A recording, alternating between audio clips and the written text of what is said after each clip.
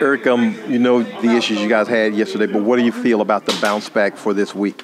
Uh, just pretty much plain and simple. We have to go out and prepare this week, um, prepare very focused, um, and go out and execute next week. Yeah. What were some of the issues you guys found yesterday? It seemed like those issues had kind of disappeared after the Rams game. Yeah, I mean, we just didn't execute our plan. One on one, we didn't, um, and as an off- offensive line unit, we didn't. How quickly did some of the mistakes that you guys made jump out when you watched the film? Uh, very quick, very quick. We we saw them and we, we saw we needed to improve on throughout this week.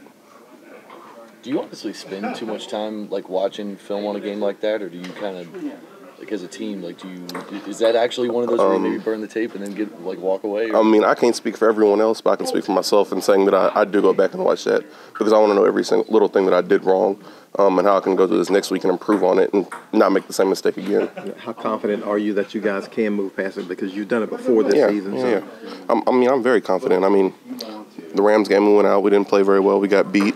Uh, we bounced back against Seattle, a very tough opponent. Um, that's what we're looking forward to doing this week.